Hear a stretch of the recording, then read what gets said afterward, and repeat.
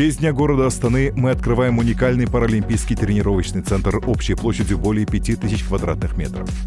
Центр имеет удобное месторасположение в городе. Здание оборудовано по последнему слову техники и соответствует всем международным стандартам.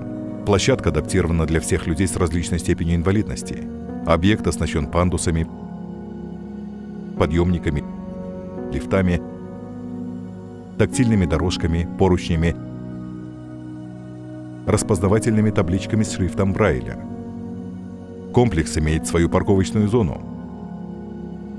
Мы построили тренировочный центр не только для параспортсменов, но и для всех людей с ограниченными возможностями, готовыми поддерживать себя физически и найти единомышленников. Теперь у людей с инвалидностью будет больше возможностей с интересом и пользой проводить свое время, приобщаться к занятиям физической культуры, стремиться к спортивным достижениям. Это поможет им легче адаптироваться в обществе, найти себя, реализовать свой внутренний потенциал. Для строительства центра привлекались иностранные эксперты Международного паралимпийского комитета. При разработке модели здания использовались стандарты Международного паралимпийского комитета, а также лучшие строительные стандарты Америки и Германии. При строительстве тренировочного центра был изучен международный опыт. За аналог были взяты спортивные центры для лиц с инвалидностью Великобритании, США, Японии и Южной Кореи.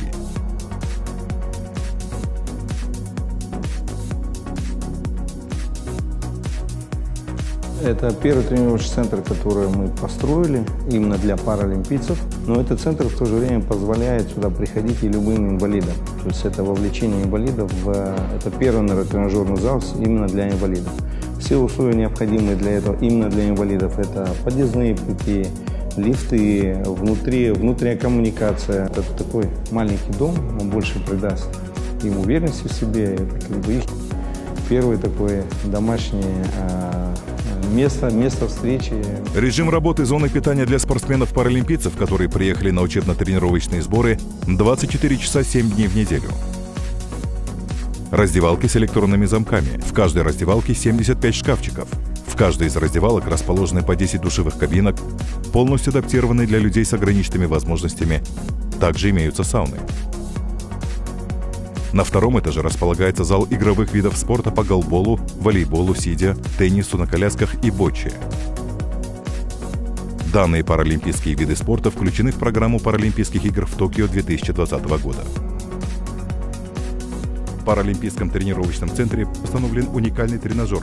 Специальный тренажер включает в себя дополнительные функции, такие как видеоанализ для биомеханики любого вида спорта, а также для мониторинга физиологического и биомеханического состояния спортсмена в реальном времени. Гостиница включает в себя собственный номерной фонд с местами, полностью оборудованными для людей с ограниченными возможностями. Все оборудование работает при помощи сенсора для максимального удобства спортсменов-паралимпийцев. Для развития в Казахстане новых паралимпийских видов спорта мы планируем строительство манежа для баскетбола и регби на колясках, футбола для незрячих.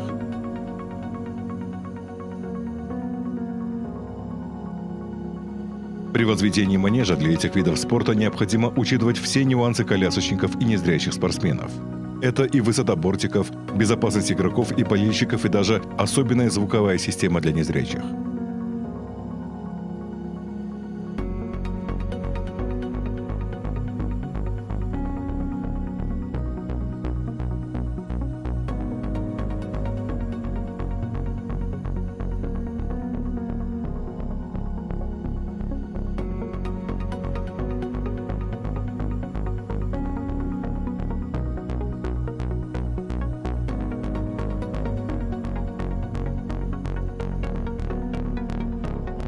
Также в наших планах строительство керлинг-стадиона. Сейчас керлинг на колясках набирает популярность во всем мире и даже включен в программу зимних Паралимпийских игр.